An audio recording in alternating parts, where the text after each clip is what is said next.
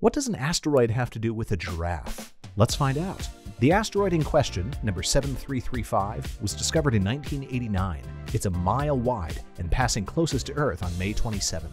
It's not getting particularly close to Earth, about 10 times farther than the Moon, but this asteroid is categorized by NASA as potentially hazardous. But what about the giraffe? Online, the size of the asteroid is being compared to giraffes, which seems delightfully random. How big is it? 350 giraffes tall, according to AccuWeather.com. The asteroid is 5,900 feet across, which, if giraffes are 16.8 feet tall, and it seems they are, that would be as tall as 350 of them. Pretty accurate.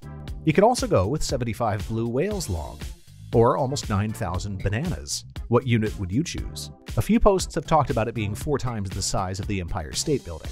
Fair enough, but there's something particularly charming about measuring a cool space rock with a very tall but very weird looking animal.